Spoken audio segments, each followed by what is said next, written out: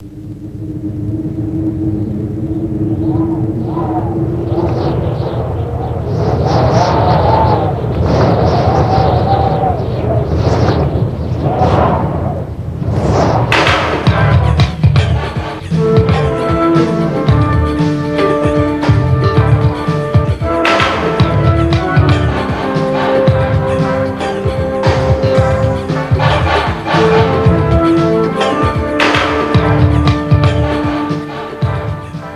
mindenhatók nyomában. Elveszett városok.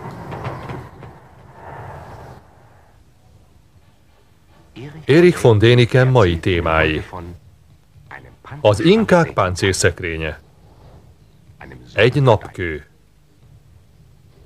Spanyol hódítók és egy inka szépség. Helikopterút a zöld pokolba. Végtelen lépcsők és teraszok. Kogi indiánok. Ma az őserdőbe szeretném elkalauzolni önöket. Két titokzatos városba, amelyek eredete a múlt homályába nyúlik. A városok közül az egyik ismert. Ez a perui Machu Picchu. A másikat néhány szakemberen kívül nem ismeri senki. A párás őserdő mélyén fekszik Sierra Nevada-ban, a mai Kolumbia államban. De mindkét város hasonló mitológiai és csillagászati jegyeket hordoz, annak ellenére, hogy több ezer kilométerre fekszenek egymástól. Machu Picchu egy egészen különleges isteni szentély. A perui várostól Cusco-tól 112 kilométerre fekszik északnyugati irányban, 2300 méter magasságban. Magasan a kanyarokban gazdag Urubamba folyó felett. Machu Picchu felfedezőjének Hiram Bingham, amerikai kutatót nevezik meg a turistáknak, aki 1911-ben lépett a dzsungelvárosba. Sajnos már ez a történet sem igaz. A nyilván tiszteletre méltó amerikai Hiram Bingham nem fedezhette fel az őserdei várost, mert az ott lakók már régóta ismerték. Fogalmazzunk úgy, hogy Hiram Bingham írta le először a nyilvánosság számára. A Pichu szó azt jelenti, hogy csúcs, a Maku szó szerinti fordítása pedig, hogy öreg. Maku Pichu tehát egy öreg csúcs. Pontosan vele szemben az Urubamba folyó túlsó partján emelkedik a második csúcs, a Huayna Picchu. A Machu Picchu és a Huayna Picchu úgy emelkedik ki a párás ködös Urubamba völgyből, mint két letisztított cukorsüveg. Csak a folyó ezüst szalagja választja el őket egymástól, amelynek morajlása még fent, Machu Picchuban is hallható. Machu Picchu leírhatatlan. A kutatók a kő himnuszának nevezték, pazarló, szinte ijesztő pompával. Ez a nyaktörő vár az inkák páncélszekrénye, a napfiainak isteni rezidenciája. Senki sem ismeri Machu valódi korát, és az eredeti nevét sem. A spanyol hódítók krónikáiból ismert, hogy egy Miguel Rufino nevezetű katona megmentette a megerőszakolástól egy indián lányt. Leszúrta bajtársát a kardjával. Ezután elrejtőzött az inka szépséggel, aki végül kanyargós ösvényeken napokig tartó meneteléssel elvezette őt a napszüzek szentvárosába. Miguel Rufino később olyan részletességgel írta le a helyet az alatta fekvő folyóval és a két hegycsúccsal, hogy nem fér hozzá kétség, Machu Picchuban járt. A hősnek és szerelmének meg kellett esküdniük arra, hogy a törvényeket betartják, és semmilyen idegennek nem beszélnek erről a városról. Beköltözhettek az egyik düledező palotába, és egy teljes évig ott éltek. Tehát Machu Picchu már akkor elhagyatott volt. Machu Picchuban 92 épület áll, mesterséges teraszokon. Egy 800 méter hosszú és 500 méter széles területet borítanak be, nem számítva a számtalan földművelésre alkalmas teraszt, amely közül néhány a szószoros értelmében hozzátapad a függőleges sziklafalhoz.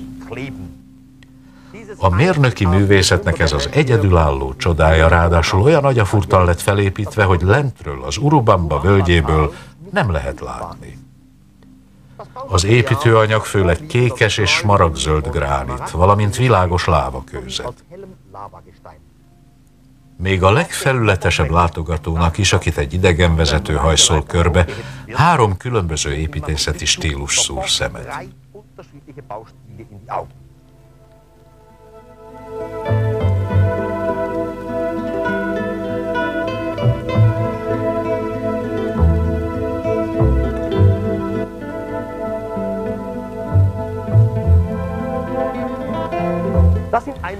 Ezek egyrészt a földművelésre alkalmas teraszok falai, amilyeneket még ma is építenek az indiánok. Aztán ott vannak a hatalmas inka falak, a sokélű, méretben egymáshoz illesztett kvádekövekkel, monolitikus keresztgerendákkal, súlyos tornyokkal és a klasszikus trapézformájú nyílásokkal. És végül harmadikként az ős régi, óriási és több száz tonna súlyú megalitok, amelyekre mindez felépül. Egy száz évvel ezelőtti kép bizonyítja, hogy a mai Machu Picchu romjai még mindig a régi megalitokon fekszenek. Annak a rejtélyes őserdei városnak a maradványai, ahol a spanyol katona Miguel Rufino a kedvesével lakott. Machu Picchu teljes épületrendszere több nemzedék munkája, amely egy sokkal régebbi megalitikus kultúra maradványaira épült. Az inkák úgynevezett elveszett városa már régen a spanyol hódítók megjelenése előtt létezett. És a stílustörés a megalitikus kultúra és az inka építészet között teljesen nyilvánvaló. Itt van például az az építmény, amelyet ma királyi mauzóleumnak neveznek. Teljes egészében természetes sziklából vájták ki, és még a hét lépcsőt is, amely levezet a mauzóleumba, az inka szokásokkal ellentétben ugyanabból a sziklatömbből faragták ki. Ugyanez vonatkozik Machu Picchu patkó alakú főtemplomára is. Három hatalmas szikladarabon nyugszik, amelyeket egy természetes sziklatömbből váltak ki. Ezek a falak kétszer olyan magasak, mint az inkák által később rájuk húzott falak. A felső harmad az inkáktól származik, az alsó két harmad pedig azoktól az ismeretlen megalitikusoktól, akik az eredeti Machu Picchu-t építették. És itt van a torony. Ma őrtoronynak nevezik. Bizonyíték mindarra, amit mondtam. A torony egy félkör alakú falból áll, amelyet az inkák az eredetileg meglévő megalit építmény köré emeltek. Ismeretlen okokból az eredeti köveket érintetlenül hagyták. A mai napig nem tudja senki, hogy mit jelentenek ezek a kövek az őrtorony alapzatán. Milyen régi tehát ez az eredeti Machu Picchu? Az inkák magukat egy Manco Capac nevű ősatyára vezetik vissza, aki a napisten fiaként alapította a birodalmat. És ez a Manco Capac tanítóként bukkant fel. Ő vezette rá a tudatlan benszülötteket, hogyan kell növényeket termeszteni, öntöző csatornákat építeni és templomokat emelni. És természetesen matematikára és csillagászatra is tanította őket. Machu Picchu legmagasabb pontján emelkedik a leginkább megcsodált és legtöbbet fényképezett megalitikus tövis, a napkő. A neve Intihuatana. Keskeny, meredek lépcső vezet fel hozzá, és mélyen lent balra már alig látható az Urubamba folyó ezüst csíkja. Az Intihuatánát egyetlen hatalmas szikladarabból faragták ki. Az alap és maga a napkő egyetlen öntvényként olvad össze. A különböző lépcsőzetek különös derékszögű sarkantyúban végződnek, amely egy soha meg nem értett technológia vagy mértékrendszer néma tanújaként mered az ég felé. A sziklatömböt egyébként iránytű pontossággal a négy égtáj felé tájolták be. A sarkantyún áthaladó átló az égboltot két egyforma részre osztja, és tavasz kezdetekor pontosan a hegy felső peremén lévő kicsi kőablak irányába mutat. Pontosan ebben a fülkében kell fel a nap. Az Intihuatana szó egyébként azt jelenti, hely, amely megtartja a napot. Manapság az Arizonai Egyetem csillagászai épp azon dolgoznak, hogy ellenőrizzék a titokzatos kőtömb csillagászati vonatkozásait. De az biztos, hogy a preinka törzsek nem saját ösztönük alapján építettek egy Machu méretű megalitvárost a meredek hegyoldalra. Tanítómestereik voltak. Méghozzá a teremtőisten Virakokka két fia, ahogy a spanyol krónikaíró Cristobal de Molina leírja. Ezek az istenfiak megtanították az embereket a kövek faragására, szállítására és a csillagászatra. Később azonban az istenfiak csalódtak az emberekben, mert azok kis istenszobrokhoz kezdtek imádkozni. Beszámoltak erről az atyuknak, és az a hálátlan emberiséget villámmal és tűzzel büntette. Egyébként ez a dél-amerikai istenatya is megígérte, hogy egyszer majd visszatér. Azóta az inkák félelemmel figyeltek minden jelet az égen, minden változást, minden mozgást feljegyeztek. Ez ugyanaz a visszatérési remény, illetve félelem, ami a mai napig minden vallásban elevenen él.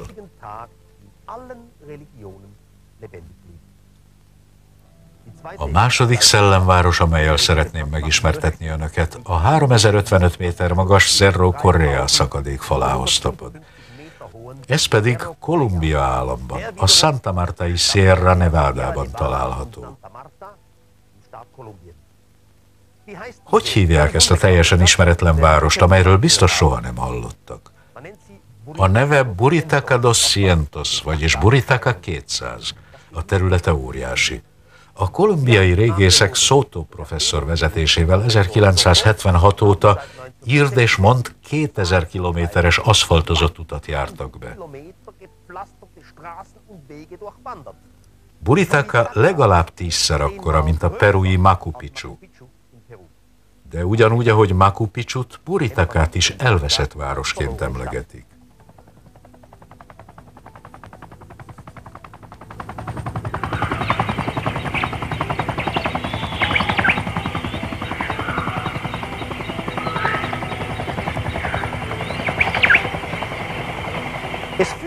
Buritakába nem vezetnek utak, nincsenek turisták, ezért csak helikopterrel tudtam eljutni oda. Már a levegőből észrevettem, hogy alattam a zöld pokol közepén valami olyasmi fekszik, ami egy helikopter leszállóhelyhez hasonlít. Úgy nézett ki, mint egy világos terasz, amely élesen elvált a környező zöldtől. Minél mélyebbre ereszkedett alá a helikopter, annál jobban kivehető volt a terasz esküvői tortára emlékeztető formája, ahogy egyik szint a másikon feküdt. Megigézve próbáltam annyi fényképet készíteni, amennyit csak lehet. Sejtettem, hogy ide talán soha többé nem térhetek vissza. A pilóta félt a felszálló köttől, ezért óvatosan letette a gépet a legfelső teraszra, és rögtön fel is szállt. Hat órával később akart ugyanitt felvenni, ha az időjárás megengedi. Sosem felejtem el, ahogy a helikopter zaja elcsitult, majmok kezdtek el kiabálni. Madarak rikácsoltak, láthatatlan állatok jajveszékeltek, és mindenhonnan a moszkitók zümmögése hallatszott, amelyek szörnyen ragaszkodónak bizonyultak. Szívesen mászkáltam volna Ádámként, de ezek a visszataszító, csípős állatok emlékeztettek rá, hogy nem a paradicsomban vagyok. Valahol azt olvastam, hogy másfél millió rovarfajta létezik. Nagy részük itt Buritakában gyűlhetett össze. Nos, előttem egy végtelen lépcsősor bukkant fel, amely valahol a liánok alatt eltűnt. Ahogy visszapillantottam, úgy láttam, hogy a legfelső terasz, amelyre megérkeztem, véletlenszerűen keletkezett felgyűrődő kőlapokból.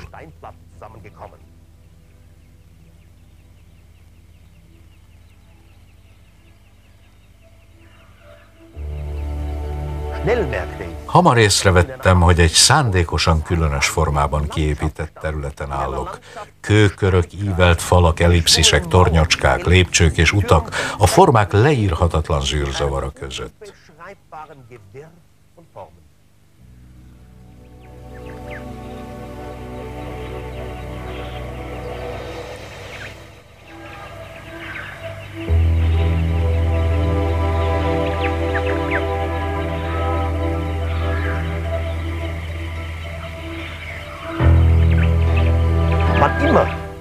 Csak félrehúztam a liánfüggönyt, új meglepetések vártak, amelyek a hegyen át a Buritaka folyóig húzódtak, és fölfelé szerte a meredek hegyoldalon. Bárhová vitt az utam ebben az érthetetlen múltban, mindenütt mesterséges talajon jártam. Babilonban Szemirámis függőkertje a világ hetedik csodájának számított. Szerintem Buritakát a világ nyolcadik csodájaként kellene nyilvántartani. Hatalmas és pontosan felépített falait, köveit és teraszait az őserdő ereje feszíti szét. Elefántcsondió, borostyán, cédrus és páfrány, a zöld minden lehetséges változata.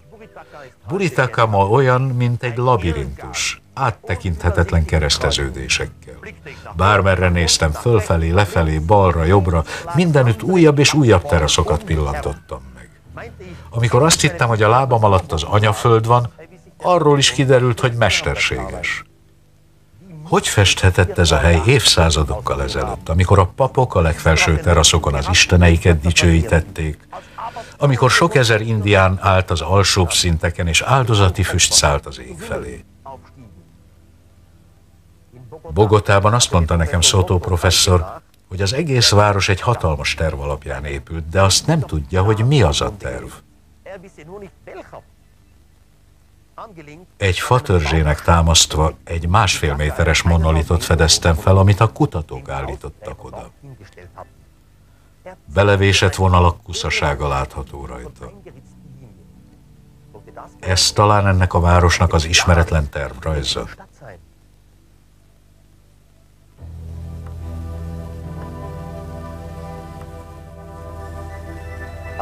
De kik voltak Buritaka voltak éppeni építői?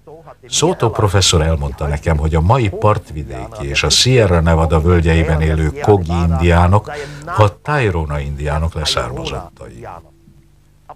A Tairona elnevezés nevetséges, mert a Taironák nem hívták így magukat.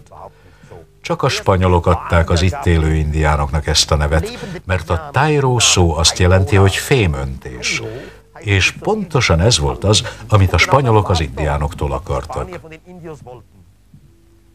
Az őserdei indiánok és a spanyolok közötti háború itt kereken száz évig tartott. De végül is az indiánoknak, akik kövekkel, buzogányokkal, láncsákkal és mérgezett nyilakkal harcoltak, nem volt esélyük a spanyol túlerővel szemben. Tehát az úgynevezett Tairona kultúra elpusztult, elfelejtették. A dzsungel felfalta az egykor virágzó földeket, településeket és városokat. És a spanyolok által Tairona indiánoknak elnevezett emberek valójában a Kagabák népéhez tartoznak. Ma egyszerűen csak kogiknak nevezik őket. Maradjunk mi is ennél az elnevezésnél, kogi indiánok. Reichel Dolmatov professzor hosszú éveken át elmélyülten foglalkozott velük. Rájött, hogy minden kogi épületet csak a világ mindenséggel való összefüggésben lehet megérteni. Ha például egy teraszt, egy házat vagy egy templomot építettek, ez összefüggésben állt a világegyetemmel, a csillagokkal és a naptárral. A kogi indiánok számára a világegyetem tojásdag alakú tér volt, amelyet hét pont határoz meg. Észak, dél, kelet, nyugat, zenit, nadír. Nadír az alsó félgömb meccéspontja, és végül az egész tojás középpontja. Az így meghatározott térben kilenc szint, kilenc világ fekszik, amelyek közül a középső, tehát az ötödik a mi világunk. A kogi indiánok minden épülete, terasza, temploma ennek a mintának az alapján épült fel. A kogi házak is tojás alakúak. Alapjuk ugyanaz a forma, amit az imént láttak. A kogik úgy képzelték, hogy négy réteg a föld alatt fekszik, négy réteg a föld felett. A középső rétegen, az ötödik szinten élünk mi. A kogiknál a férfiak és a nők külön éltek. Minden kogi közösségnek volt egy tojás alakú háza a férfiak számára, amelynek tetején egy hatalmas karó, olyan, mint egy zászlórúd nyúlt az ég felé. És átlósan vele szemben állt a tojás alakú asszonyház. Az asszonyház tetején két egymást keresztező gerenda volt. Figyeljenek csak!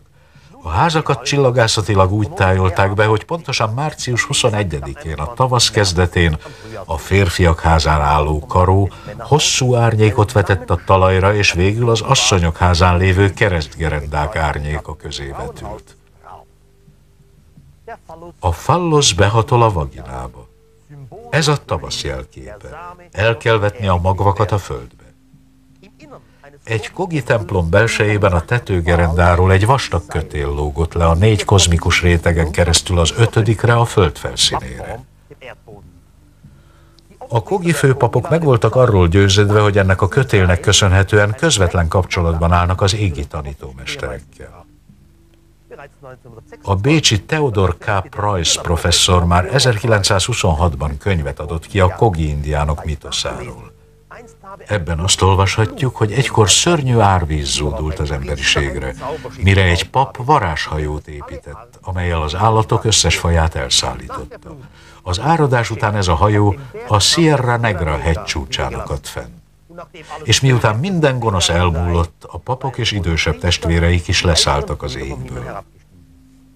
Minden templomban ennek a kozmikus kapcsolatnak az emlékét őrzik. Vannak különös párhuzamok. A Kogi mitosz szerint az áradás után mindahányan leszálltak az égből a földre.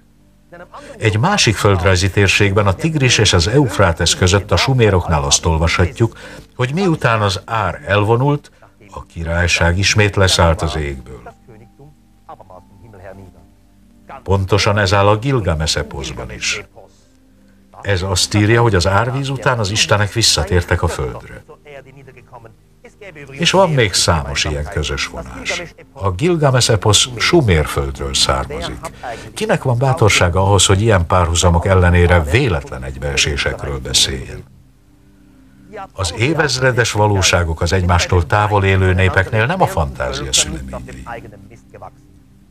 Az emberiség fiatal korában még közös élmények érték a föld lakóit például az özönvíz, vagy az égi tanítómesterek megjelenése, és azoké a törvényhozóké, akik a világ mindenségből érkeztek. Ők voltak azok, akik a fiatal emberiséget arra nevelték, hogy ne faljuk fel egymást, akik őseinket az írásra tanították, és némi csillagászati ismeretet adtak. Ugyanezek a tanítómesterek azt ígérték, hogy egyszer majd visszatérnek a földre. Következő filmünkben Erik von Déniken a Mahabharátáról, az emberiség legnagyobb eposzáról beszél. Az indiaiak szent könyve apró részletességgel repülőszerkezeteket ír le. Megtudhatják, hogy milyen gyorsan repültek, és hány utas tudtak szállítani. Városok a világűrben.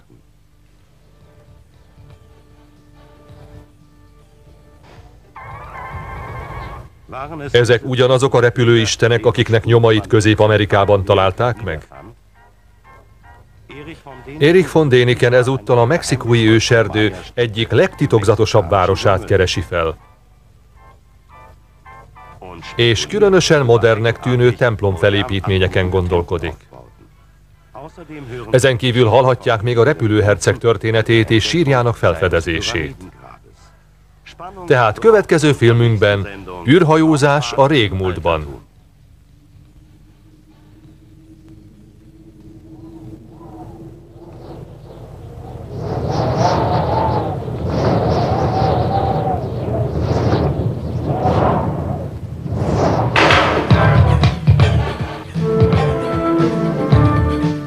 Rendezte René Steichen. Közreműködött Kertész Péter és Varga T. József. A magyar változatot a Masterfilm Kft. készítette. Forgalmazza a Vipart Kft. Produkciós vezető Gyárfás László és Juhász Janó.